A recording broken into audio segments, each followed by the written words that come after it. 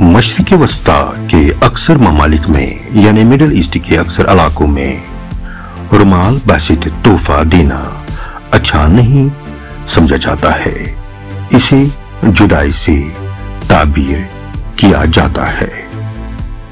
और इसे एक नामुनासिब तोहफा समझा जाता है।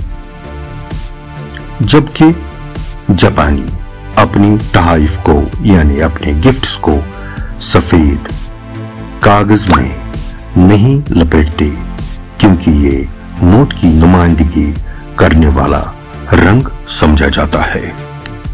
मिस्र, यानी इजिप्ट में मेजबान के मुकाम पर नमक न मांगे। ऐसा लगता है कि मिस्री, यानी इजिप्टियंस, आसानी से नाराज़ हो जाते हैं। लिहाजा, अगर आपको रात के खाने पर मधु किया जाता है, और आप अपनी डिश में मजीद नमक डालना चाहते हैं तो नमक को छूने की हिम्मत न करें, क्योंकि मिस्रियों को लगता है कि ये मेजबान की तोहीन है। वेनेजुला में वक्त पर ना आए। ऐसा लगता है जैसे वेनेजुला भी हिंदुस्तानियों की तरह है। वेनेजुला में किसी जगह पर वक्त पर पहुँचना बदतमीजी समझा जाता है और मुकर वक्त से पंद्रह मिनट बाद पहुँचना अच्छा जाना जाता है। पर पहुँचने वाले मेहमानों को लालची या बदतमीज समझा जाता है। रूम में लोग मुर्दों को खाना खिलाने पर यकीन रखते हैं।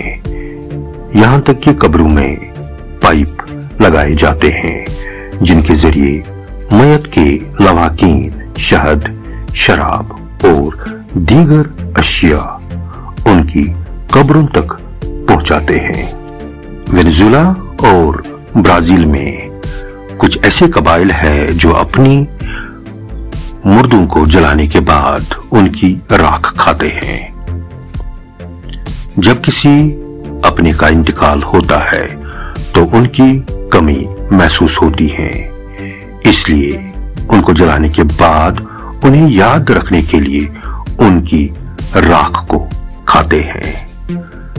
ब्राज़ील और वेनेजुला का योनामो कबीला बिल्कुल ऐसा ही करता है। चूँकि रिवायात इन्हें जिस्म का कोई हिस्सा रखने से मना करती है, इसलिए उसे जलाकर कुचल दिया जाता है और बाकियात को खानदान के अफराद में तकसीम करके सब खा जाते हैं।